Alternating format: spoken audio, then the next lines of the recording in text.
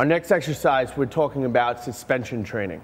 We're using the full body as our machine, working on the core, and in this particular exercise, the body row, we're isolating the back and the bicep area.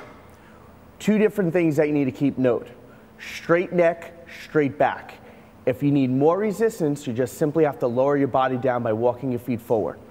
If that's too much to make it slightly lighter, you just need to walk backwards. You literally control the resistance. You are the machine.